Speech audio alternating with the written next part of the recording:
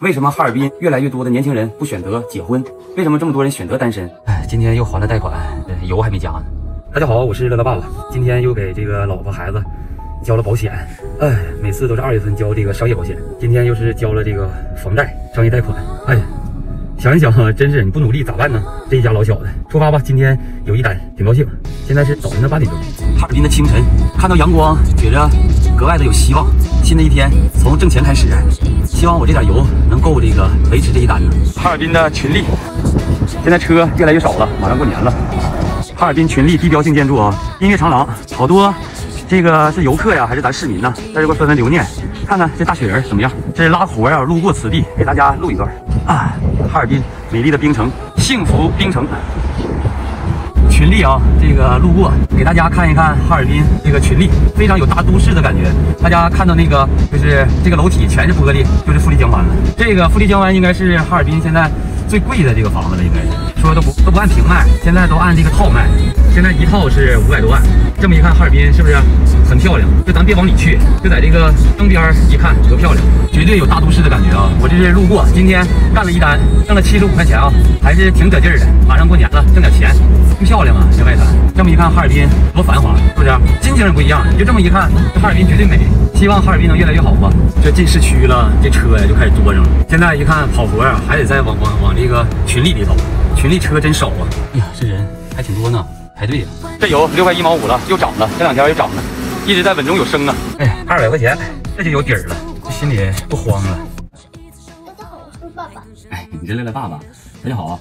那个回来了，这饭都都吃一半了，吃的面条，还有葱蘸酱啊。这个今天挺高兴，今天挣钱了，今天接了三单，第一单这个油都要没了，然后然后接了一单，挺好，那个维持到就底儿了吧，然后把这单做成了，挣了七十多块钱，真挺好。这马上过年了，这个嗯给的钱也多，有的人都回家了，人都不接单了，所以说挺高兴。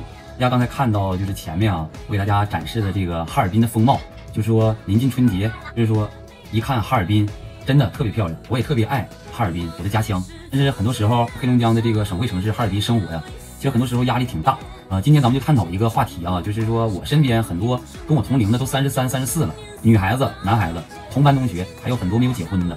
就拿我做一个比较，大家就能看出来，在这个哈尔滨生活，就是说，嗯，没有正式工作这样的人，这一个群体靠打打工为生的，这个生活成本到底是多高？我是从这个中产。嗯，由于这两年，呃，生意不景气吧，变成了哈尔滨收入最低的人。我我就跟大家聊一聊，就是现在在哈尔滨生活的成本大概是多少钱。现在呢，我给大家大概拢了一下，这个活着呀，就是围绕着六步走。第一步就是说水电煤气啊，还有网费、手机费。嗯，就像我来说吧，一年就大概得三千块钱吧。然后这个柴米油盐呢，还有这个水果、蔬菜、肉，呃，这个就是生活用品吧，就是说吃的这一块，菜还得说夏天和冬天综合一下。就是说，这一年也得一万二，一个月就吃最少最少你也得一千块钱一个月，一年一万二。我说的这个，我觉得够低的了。就是我家几乎不出去呃应酬吃饭，还得说这样的情况下。还有第三呢，就是说为什么不结婚？就是养孩子这一块费用也挺大，像孩子这生活用品、衣服啊、帽子、鞋呀、尿不湿啊、奶粉呐，就是初期这几年就呃往后就更多了，往后还有托托儿费。我就说先不说托儿费，就是这个前三年，我家孩子前三年这个一年。就得两万块钱，就养这个孩子。我说的这个都是养孩子的成本是压缩到最低了，都不说什么去游泳啊、去胎教啊、去什么什么的啊，咱就说，就是说最基础、最基础的都就是压缩在两万。如果你要是有一些更更多的活动啊，就五万、十万都打不住。这个三岁以后，这个上托儿费，往后这又什么课学补课呀、乱七糟的越来越多，这个都不敢想了。第四个呢，就是说咱大人呢，像我，我和我媳妇儿，就是说我几乎一年也买不了几身衣服，就算忽略不计了。就是不论是从内衣啊，还是说棉衣啊、二棉鞋呀，就是这些我都忽略不计了。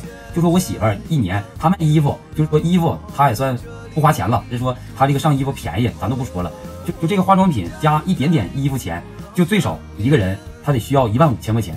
就是我，我这个都是保守的说，然后还有现在呢，就是我每个月给我妈给我爸是五百块钱，平时买东西我都不算，就每个月我要给我爸妈五百块钱，一个月就六千，六千，然后再加上这个人情网费，就是说不是说出去吃饭啊，婚丧嫁娶，你得你得随礼吧，就这些一年也得三千，加上我给我爸的六千，这就九千块钱。然后呢，第六项，第六项我觉得这个支出是最大的，因为像我们这样的呃没有工作的人，就是你得为以后考虑啊，像以后考虑，你就像说这个我家这个保险吧，我我个人啊，我都没有保险。所谓的伤险我根本都没有啊，就是说我就给我我就给我我给我女儿还有这个还有我媳妇儿入了两个保险，就是现在已经入了，我媳妇儿入了四五年了，我女儿入了三年了。然后就是这个两个人的保险就一万块钱，因为这个一个人五千嘛。我今天又收到了这个催款通知，但是可以延缓两个月，嗯，二每年的二月份就得交。我两个人的医保，呃，每个人是六百，加一起就是一千二，呃，还有一个社保，我媳妇有社保，我还没有，我没交，所以说三个六百。你算算，一一年就两两万多块钱，再加上这个商业保险就三万块钱。现在啊，就是初步一算，就这六大项，呃，我都是压缩到最低的情况下，就得是八九万块钱。就在咱们哈尔滨，现在就是说你生活，别说你攒钱，房子很多时候都是老人啊老家给给置办的。就像这样的不还贷款的还好点，像我进城，爸妈没给我买房子，都是我自己就是说呃挣的吧，然后还有贷款。现在这种情况呢，就是说压力非常大。你不说攒钱的情况下，就八九万就出去了。这个为什么说呃很多时候身边的朋友不不结婚不愿意结婚？你说很客观的说，你说你拿啥结呀？家里条件好，那不用说了，早就结婚了。剩下的他他不想结婚吗？他想结婚，但现实生活中你说很多时候左右你你怎么结婚呢？你这个钱在哪儿啊？这个彩礼不说吧，就是说他挣的不多，所以说他压力非常大，他就放弃了结婚和生孩子这个想法。嗯，有的人说总说我黑哈尔滨，其实哈尔滨很大，哈尔滨有钱人也也多，因为毕竟是九百多万人口，对不对？但是你屈指可数，周围有钱人又有多少？就是说现在有钱人呢，占咱们哈尔滨呢，也就是百分之二十五到百分之三十最多了，中间层占的更多一些吧，能占百分之四十，呃，然后剩下的就是穷人了。就是说，你就即使是中间层，也就不过是三千多四千。就是说，咱哈尔滨这个工资啊，就两千多块钱的一抓一大把，现在挣钱不好挣，所以说很多时候生活压力特别大。这个就是在哈尔滨的一个生活成本，嗯，冬天这个工资就是你开到手就贬值了，那没办法。好了，今天就跟大家聊这么多，大家所在的城市生活成本大概有多高？能跟我聊一聊吗？好了，再见。